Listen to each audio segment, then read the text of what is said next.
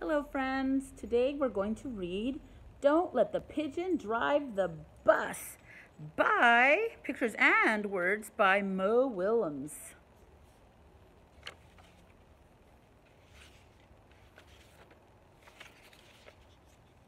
Hi, I'm the bus driver.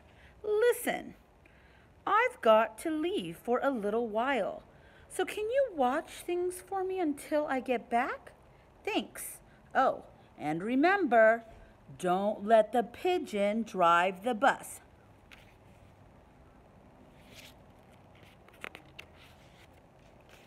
Look at that naughty pigeon watching the bus driver leave.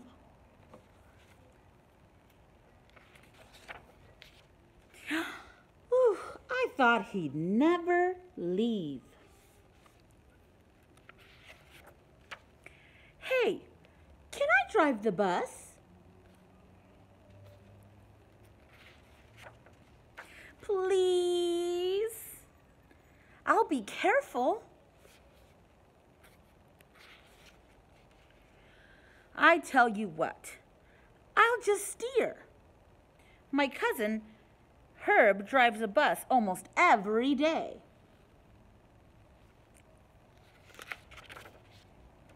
True story. Do you think he's telling the truth?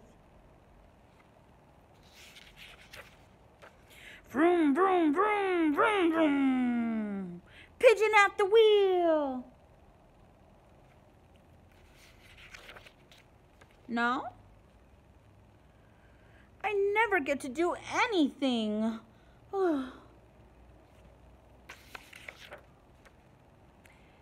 hey, I've got an idea. Let's play Drive the Bus. I'll go first.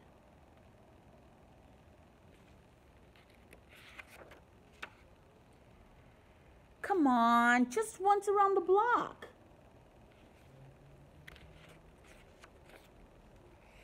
I'll be your best friend. How about I give you five bucks?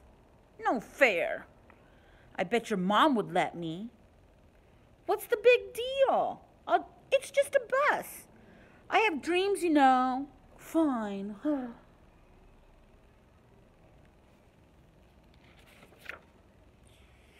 me drive the bus.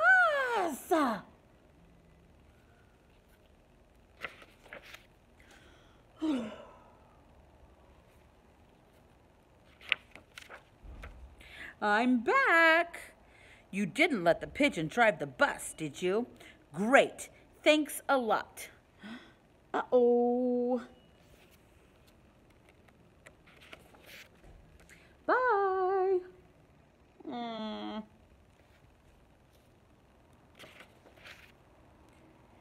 Hey.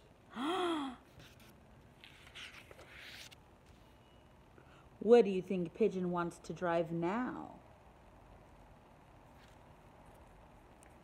The end.